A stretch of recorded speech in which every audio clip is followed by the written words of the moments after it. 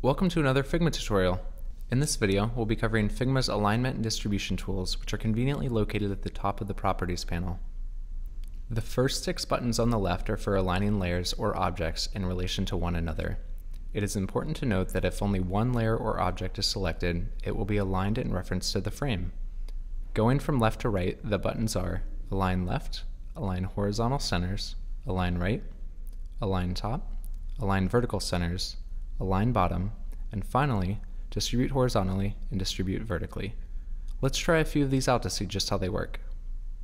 In this first example, I've placed and selected three different objects for us to demonstrate alignment with.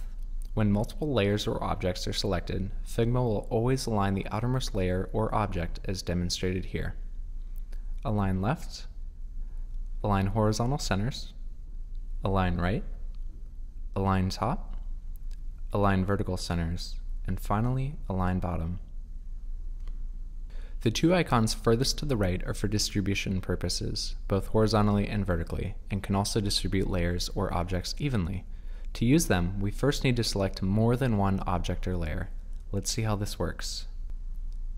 You'll notice that these shapes are not evenly spaced apart. With Figma's distribution tools, that's easy to fix. With these objects now selected, I will simply click the Distribute Horizontal Spacing button, and just like that, we can see that the space between each shape is even. Aligning the vertical centers is just as easy. When distributing, it's important to note that the leftmost or the rightmost layers or objects will always keep their original position.